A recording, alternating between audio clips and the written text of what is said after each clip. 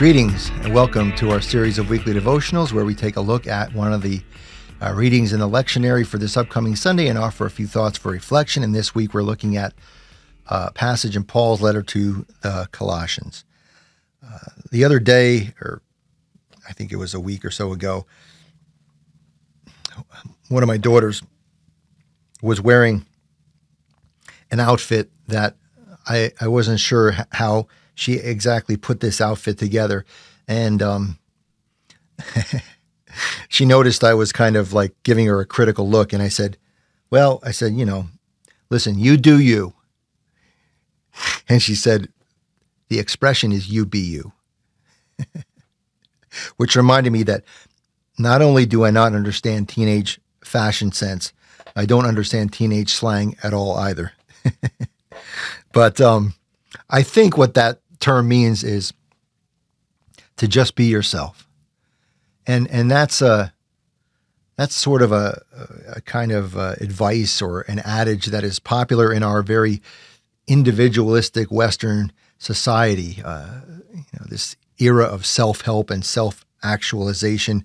We're we're given the message that you know if we just uh, do away with labels and categories and we don't conform ourselves to any expectations of people or society.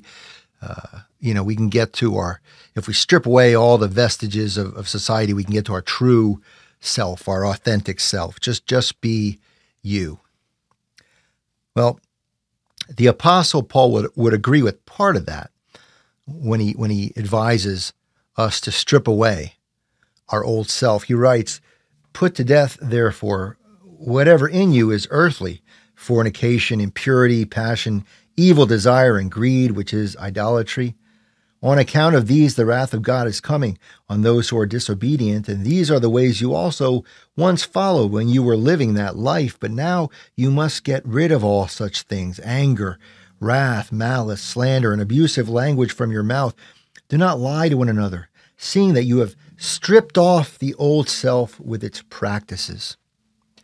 So Paul advises to strip away all of those uh, things that are, that make up your former self. But but for Paul, there's a difference. Stripping away everything doesn't leave your true self.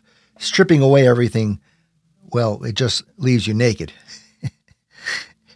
you must not just strip away, but you must then clothe yourselves with something else, as Paul says, and have clothed yourselves with the new self which is being renewed in knowledge according to the image of its creator.